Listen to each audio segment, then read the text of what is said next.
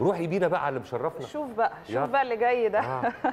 يعني خبر امبارح مش فكرة بس الخبر هنتكلم في النقطة دي بس في حاجة كمان عايزين نروح ليها أو نتطرق ليها خلينا نبدأ بس بالموضوع كان إيه طبعا محمد صلاح امبارح زي ما حضراتكم شفتوا اللي لبى دعوة الأمير البريطاني ويليام لحضور حفل جائزة اللي اعلنا عنها برضو هنا آه. من يومين ايرث شوت المقامة لتكريم هناك الأشخاص اللي قدموا حلول للمشاكل البيئية. يعني حاجة كانت معمولة زي مسابقة كده كل شخص بيقدم بيشوف حلول من وجهة نظره ومن وجهة دراسات عملها يعني وات بس انت في الأول وفي الآخر لمصلحة البيئة القصة كلها معمولة. بنتكلم أو قلنا قبل كده برضو محمد صلاح يعني هو لاعب الكرة الوحيد اللي كان مدعو لهذا الحفل والجائزه برضو. خليني انوه عنها هي بتقام للمرة الأولى وبيحصل عليها مفروض يا كريم خمس فائزين. بيقدموا حلول زي ما أنا قلت لمشاكل البيئة وبتقام برعاية العائلة البريطانية المالكة.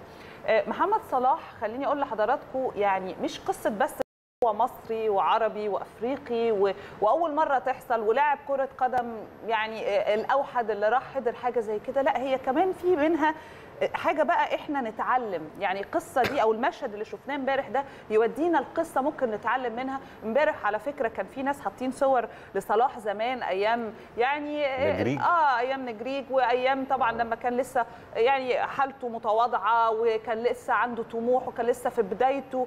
فبيقول لك بص اشتغل على نفسك طبعاً. ثق في نفسك آه، خلي عندك إرادة وامشي في الطريق. ومالكش دعوة بعد كده التوفيق ده طبعا بتاع ربنا. بس المهم أنا أكون عملت اللي عليا. دي أهم حاجة.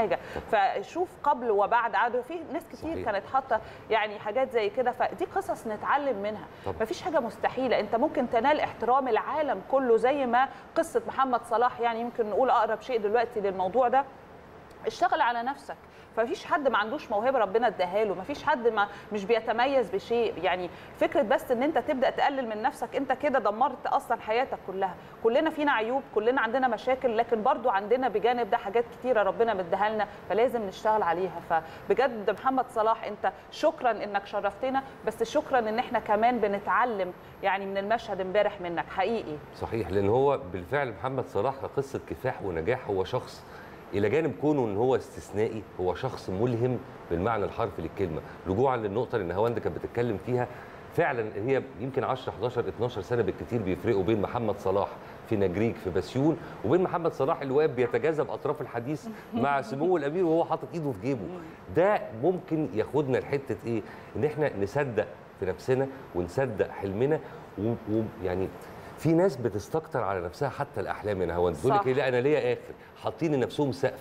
محمد صلاح ما عملش للاسف كده. الشديد ده- شيء آه، ممكن تكون موروثات ممكن تكون عادات ممكن تكون أفكار آه، غلط في حياتنا بنشربها من وإحنا صغيرين اللي هو ارضى بنصيبك. عارفة الأمثلة برضو الشعبية اللي بنسمعها وتتكرر قدامنا في منها حاجات كارثية بتدمر الحياة بجد لو إحنا آمنا بيها. فيا ريت كل واحد يؤمن بنفسه ومفيش حاجة فعلا مستحيلة زي ما بيتقال. وهناك في يعني في, أمريكا يعني مثل يعني يقول لك sky is your limit يعني. ما فيش limit بالظبط. أنت احلم وحقق ليه لأ يعني.